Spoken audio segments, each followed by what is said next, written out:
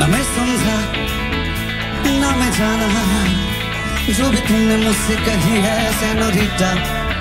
मगर फिर भी न जाने क्यों मुझे सुन के अच्छा लगा है सेनोरिटा मुझसे अब नज़र ना फेर